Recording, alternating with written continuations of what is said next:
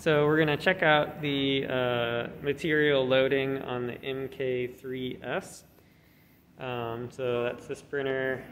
It's got its printer type label next to it. Um, so the first thing you're going to want to do is switch it on. So that's always going to be on the power supply, right near where it plugs in. So we flip that switch on. The printer will boot up, and we should see the screen come into view here. Okay, great. Um, so we're going to go into the menu. And my phone seems to be having a little bit of a harder time focusing. There we go. So we're going to go to auto load filament. So from here it says auto load filament is active. Just press the knob and insert the filament. Great. So we can come up here, find the end of our filament here. We'll stick it in the extruder. And then it's going to ask me what type it is. So PLA is what I want.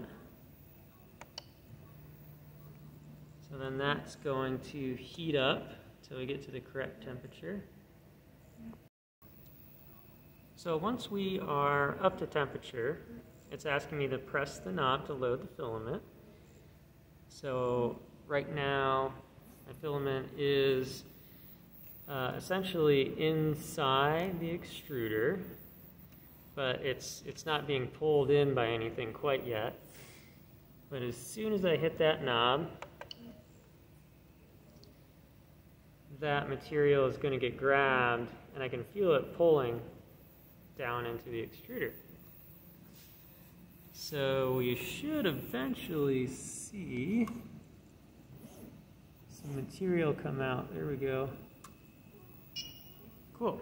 And it's white, which is perfect. That's the color we're looking for. So I can say filament extruding with correct color, yes.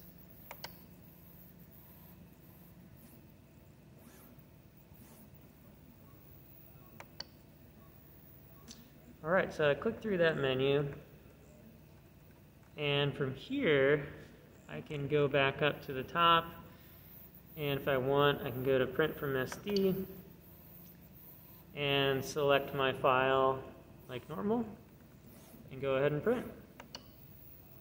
So that's it for loading material on the MK3S.